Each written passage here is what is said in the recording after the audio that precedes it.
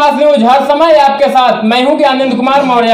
हमारे latest news को देखने के लिए डाउनलोड करें के मास न्यूज़ ऐप या टाइप करें W W W dot K Mass News dot com आइए दिखाते हैं ये खबर।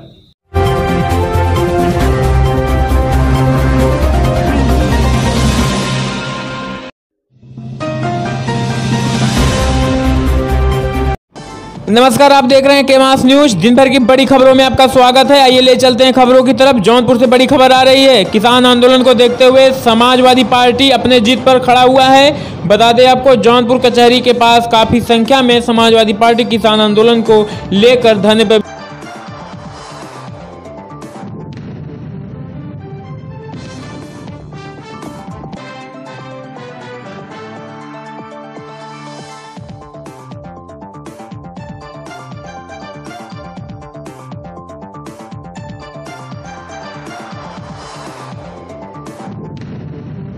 जो मैं चाहता था खुलवाऊँ लेकिन वक्त इजाज़त नहीं देता बुलवाने का।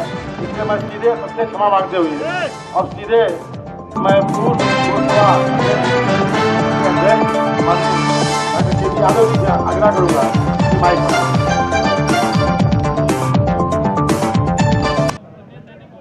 अब अब कुछ हम लोगों से पूछ ले भैया। समझ ला